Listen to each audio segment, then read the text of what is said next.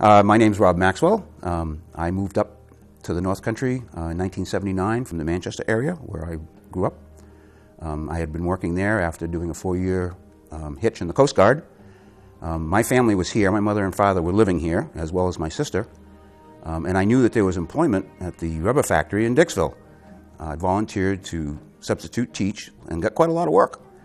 Um, one day I was substituting seventh and eighth grade math, and the woman who taught that class also coached girls and boys junior high basketball.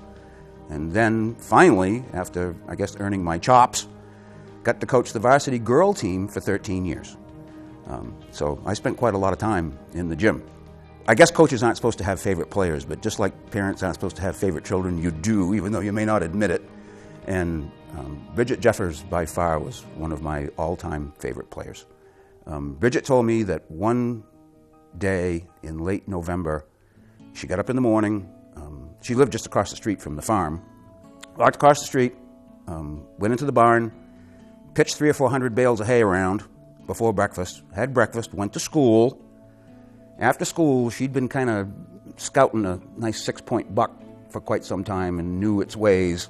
So after school, she went up behind the farm into the woods, and sure enough, found the buck, shot it, dressed it, dragged it out of the woods, hung it up in her grandfather's barn by herself. And Bridget's not very tall. She might be 5'3 and maybe weighs 105 pounds, soaking wet with stones in her pockets.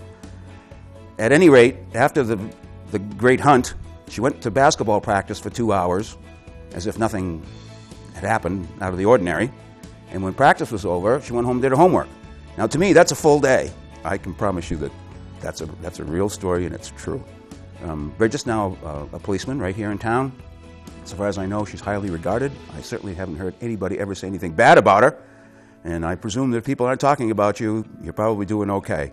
If I ever have the opportunity, and I probably won't, but if I ever did, if I had an opportunity to speak to a graduating class, my subject would be those kids that don't go out into the world and that stay here and become firemen and policemen and run automobile garages and do all the things that work in grocery stores, do all the things that people have to do to keep a small town like this going. And Bridget's one of those people. It's different here because these are the kids that babysit your kids. You've known them since they were two years old. You know, you substitute for them in school. I mean, there's, there's more connections than just the two hours you spend in the gym. You know, this is a really small town. Everybody knows everybody.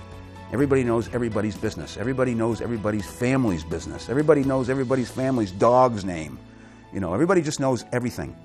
It's, it's really close and really tight. So, you know, if you have the opportunity to help develop someone, that's something to, to be proud of. Makes you feel good.